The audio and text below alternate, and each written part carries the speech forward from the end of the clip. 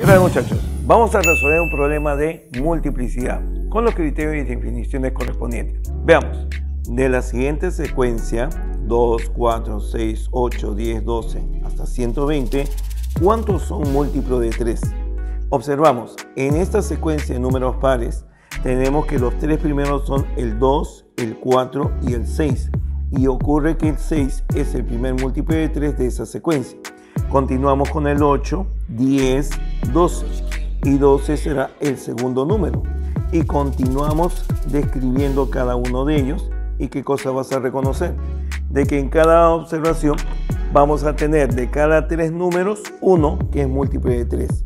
Entonces, como la secuencia es de números pares de 2 hasta el número 120, observamos que hay exactamente 60 números. Y como cada grupo de tres números me da un múltiplo de 3, entonces perfectamente digo 60 lo divido entre 3 y me da la cantidad de múltiplo de 3. En este caso habría 20 números que correspondan a esta expresión.